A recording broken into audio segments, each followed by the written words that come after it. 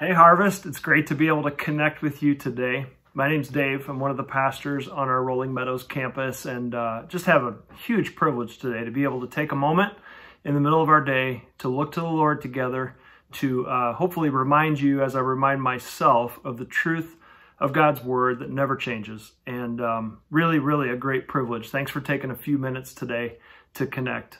I want to just take a couple minutes and look together at a passage of scripture from the Sermon on the Mount. Uh, that's in the Gospel of Matthew. It's chapters 5, 6, and 7. And uh, honestly, it is a treasure of God's truth. It has so much in three chapters. That's the place where you can read about uh, the Beatitudes. That's one of the places where you can read the Lord's Prayer. That's a place that talks about anxiety and talks about the heart and talks about loving your enemies and talks about laying up treasures in heaven and putting your foundation on the rock of Jesus Christ. It's a fantastic passage of scripture. So I would just encourage you to spend some time yourself this week in Matthew chapter 5, 6, and 7. Those are three great chapters. But today I just want to take a moment and I'm thinking about you and I'm thinking about our church and I'm thinking about myself and I'm thinking about, Lord, what is a word for us right now?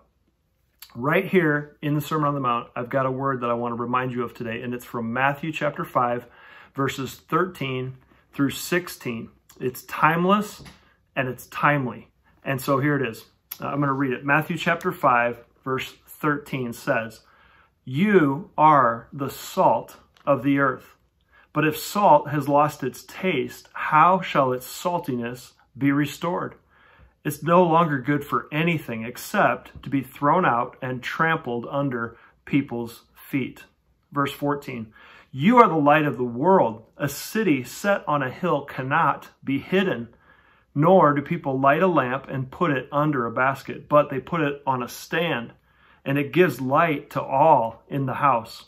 In the same way, let your light shine before others, so that they may see your good works and give glory to your Father who's in heaven. Now, listen, that's truth we need to hear today.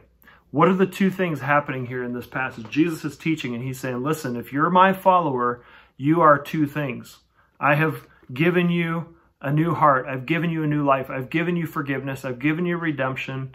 I've guaranteed heaven. I've given you myself. And I want you to be these two things. You are salt of the earth verse 13 says, and you are light of the world. Unbelievable. Now, what does that mean? Well, salt, you got to remember, this was pre-fridge, pre-freezer, and uh, salt had a preservative effect on meats. It, it could be preserved through the effect of salt. The other thing that we all know is salt has a distinct flavoring effect. It's set apart. It tastes different when salt is in the picture. Salt has this image to have influence for Jesus Christ as a demonstration of who he is and the love that he shares. So we're to be the salt of the earth, preserving, flavoring, seasoning, distinct, set apart. Not just that though, what's verse 14 say? You are the light of the world. A city set on a hill cannot be hidden. That's awesome. Why? Is it because you have such a great light? Is it because I? No, no, it's because Jesus is the light of the world. And when we hope in him, he says, you now are the light of the, the world. Now, what does that mean? It means to shine for him. It means to dispel darkness. It means to represent him. What does light do? Light brings clarity when there is confusion. Uh, light corrects wrong thinking that I might be prone to if I remain in the dark. And so you and I have this privilege of shining as the light for Jesus. And when is light most needed? When it's dark, when it's confusing, when it's uncertain, when it feels oppressive.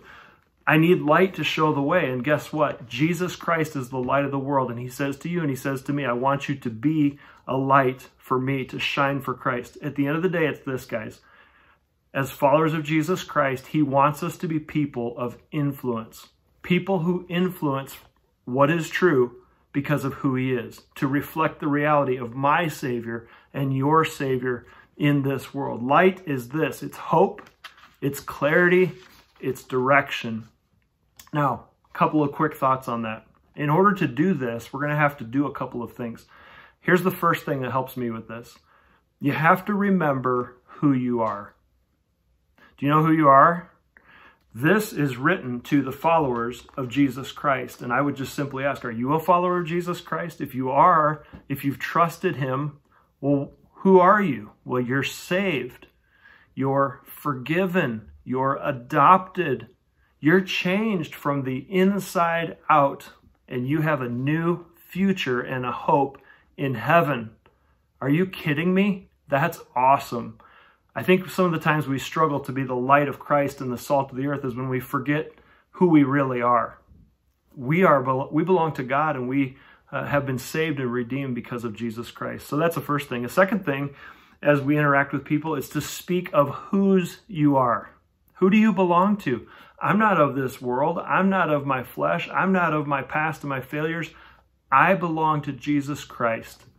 And you know, a lot of times I think we might shrink back from functioning as salt or shining the light because we think, well, I don't know that I have all the answers. I don't know that I have uh, perfect clarity on all these things. I'm not really a great spokesperson.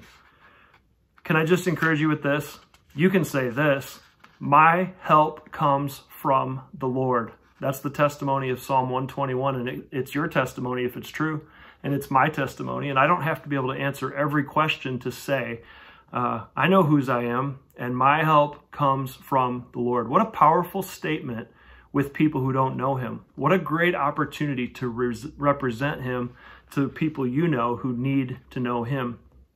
My hope is in the Lord. A couple of years ago, uh, in our hope group ministry that I'm involved with, I said, you know what, guys, we need to be hope dealers.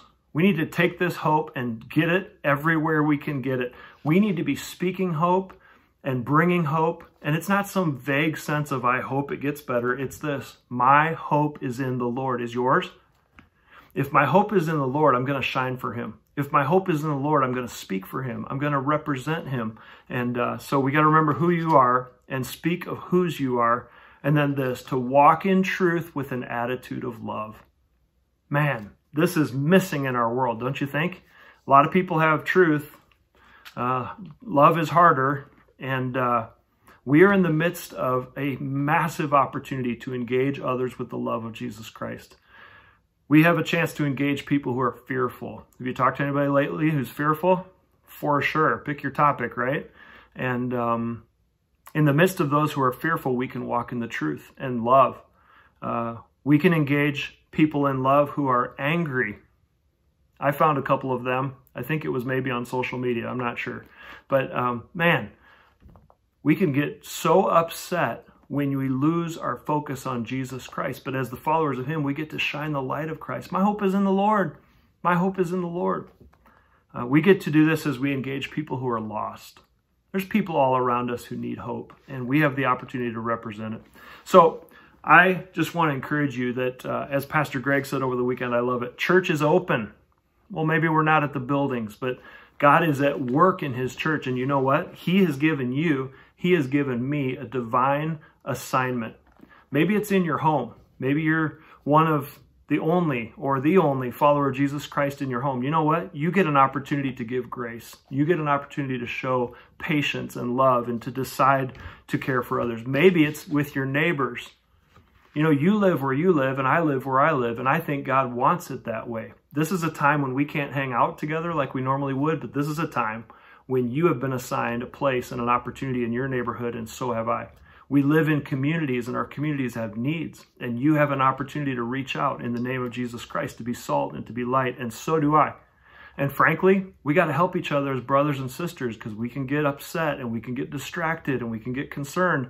My help comes from the Lord. Scripture says we're supposed to stir up one another to love and good deeds. And you can be salt and I can be light in Jesus Christ in doing that together. We've got a divine assignment, and I believe a huge opportunity. God has decided at this time that we will be distributed as we worship and serve Him. And I believe it's because so many hearts are open to Him.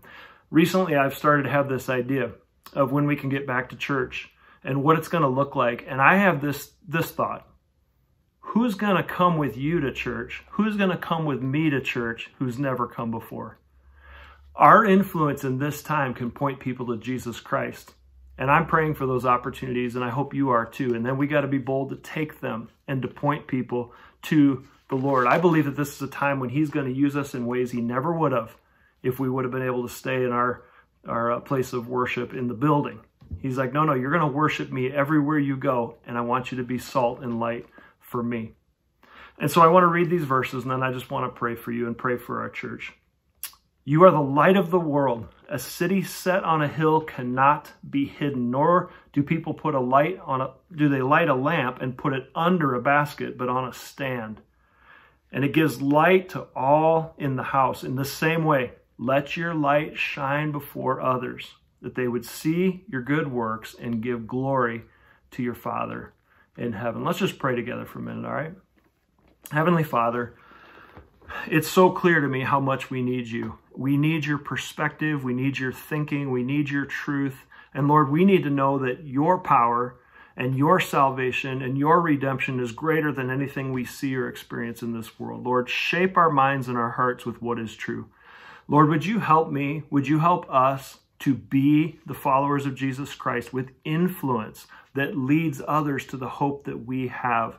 Lord, we thank you for a time that is frankly, not one we would have chosen. It's uncomfortable, it's uncertain, and yet you're doing something in this season, Lord. Give us faith to believe you and courage to represent you, to speak for you everywhere we go. Lord, would you lead us with practical, specific ways to be salt and light everywhere we go? And Lord, we pray that you would draw people to yourself. We pray that there would be people with us in worship, maybe online this weekend, maybe when we get together again who have come to faith in this season because we had the opportunity to point them to you. Lord, do what only you can do. Help us to represent you well. We love you and we need you, and we pray all this in Jesus' name. Amen. You are loved.